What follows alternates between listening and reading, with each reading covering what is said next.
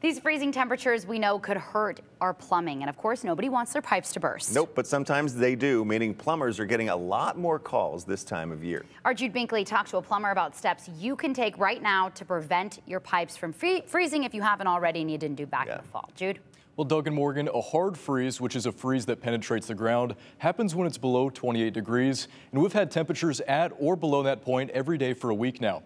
People should have prepared their homes for winter earlier in the fall. But if you haven't winterized your house yet, it's still a good time to do so.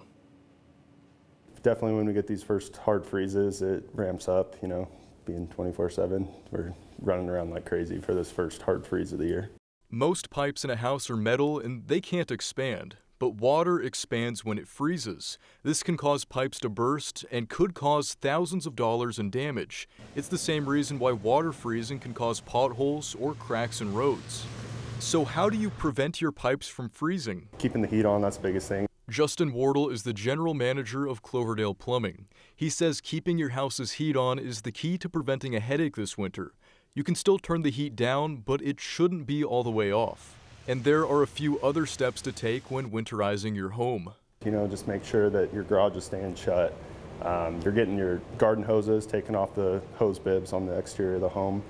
Um, you know, if there's a well house or something, that there's heat inside of those. Uh, another big thing, um, mobile homes, the skirting on the sides, you want to make sure that those are sealed really well and insulated and stuff like that.